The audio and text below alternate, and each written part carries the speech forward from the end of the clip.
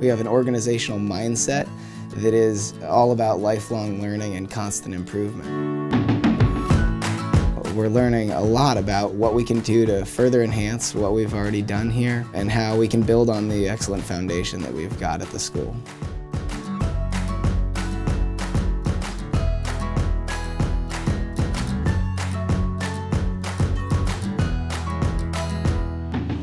We sent a group of six teachers to a workshop at High Tech High in San Diego. These teachers were on the most cutting edge campus in the country. And in those workshops, they got to see the method to the madness, how they're getting there.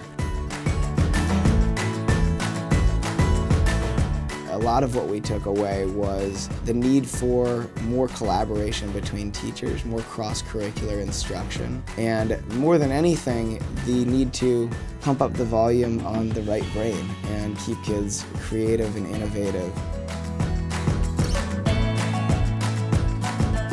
We're not looking for our students to memorize information and regurgitate it on a test. We're looking for them to take genuine learning and then apply that to a real-world project, a real-world skill. Those are where the, the jobs of the future will be in the creative, innovative sector. And if we're graduating students who don't have that creative side to them, that innovative side to them, then we're selling them short.